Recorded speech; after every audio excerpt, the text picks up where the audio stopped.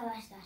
Kanalıma hoş geldiniz. Bugün size Kretasye'nin orta ve geç dönemlerinde Güney Amerika'da yaşamış bir dinozor olan Carnotaurus'tan bahsedeceğim. Carnotaurus ünlü bir filme konu olmuş bir dinozordur. Fakat resmedildiği kadar büyük değil. En büyük Carnotaurus iskeleti yaklaşık olarak 9 metre uzunluğundaydı. Ve bundan ilk tam Carnotaurus iskeleti Arjantinlinin evinde duruyor. Yani orada ser- sergileniyor demek istiyorum. Carnotaurus'un sıra sıra dişleri vardı ve tıpkı köpek balıkları ve timsahlar gibi hep yerlerine yenileri çıkıyordu. Aynı zamanda timsahlar gibi osteoderm adı verilen birçok kemikli plakaya sahiplerdi. Şimdi size garip bir şey söyleyeceğim. Carnotaurus'ların yetişkinlerini yavrularından ve gençlerinden ayırmanın en kolay yollarından biri, söyleyeyim mi? Söylüyorum. Bunlardan biri kollarındaki parmakların sayısıdır. Bakın, dikkatli inceleyin. Bakın, bu yetişkin erkek Carnotaurus'un yaklaşık olarak dört parmağı var ya. Bu yavru yetişkin er pardon yetişkin demişim. Bu yavrusu genç yani genç Carnotaurus'un üç parmağı var. Ayırt etmenin en iyi yollarından biri budur. Bir tanesi de boynuzlarına ve kafaları, kafalarındaki boynuzların arkasındaki küçük dikenlere bakmaktır. Ve hatta kafalarına bakmaktır. Durun ilk yöntemi söylüyorum.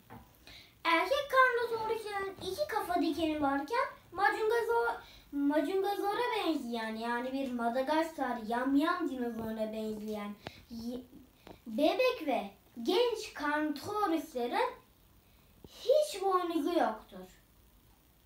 Kafalarına bakalım. Erkek Carnotaurus'ların hatta yetişkin tüm cinsiyetteki Carnotaurus'ların burunlarında ve kafalarında hiçbir başka özellik yokken boynuzlar dışında yavru ve genç Carnotaurus'larınkinde küçük bir küçük bir yaka ve burun çıkıntıları vardı. Diğer bir yöntem de osteodermlerin nerede olduğu.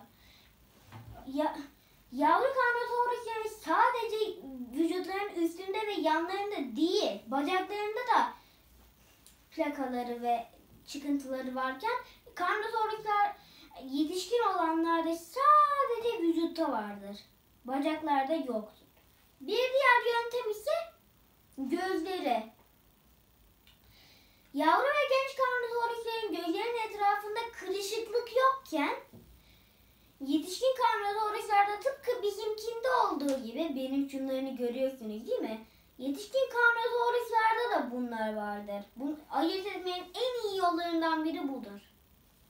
Ve bir diğer yöntem işi çok değiştirebilecek bir yöntem. Ne biliyor musunuz? Bu yöntem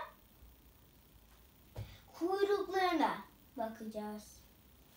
Erkek Carnotaurus'ların ve hatta tüm cinsiyetteki yetişkin Carnotaurus'ların kuyruklarının altında bir şey yokken yavru olanlarda dikkate değer bir özellik var. Çıkıntılar. Pardon ses çıkardı bu ama. Neyse. Bunlar ayrıca bacaklarında, boyunlarında ve çenelerinin altında da var. Anladınız mı? Sonra Carnotaurus'ların özelliklerinden bir tanesi yavrunun da gencin de saatte 60 km hızla koşabilmesidir. Anladınız mı? Ve bunlarla kolayca av yakalayabilirler. Kolları bir işleve yaramaz. Ancak bacaklarıyla avlarını yere sabitleyebilir ve öyle yiyebilirler. Boynuzları da bunda bir işe yarar. Onlarla vücut avların vücutlarında derin yaralar açabilir. Hatta bir eş için diğer erkeklerle kavga edebilirler. Tabii erkek Carnotaurus'lardan bahsediyorum. Bu dinozorların bir diğer özellikleri de erkeklerin çoğunlukla renkli olmasıdır. Siyah renkleri hariç tabii. Evet arkadaşlar. Bugünkü videomuz bu kadar. Bir sonraki videoya kadar sağlıklı kalın, hoşça kalın, esenle kalın. Ek olarak kanalımıza abone olmayı unutmayın. Yani kanalıma demek istedim.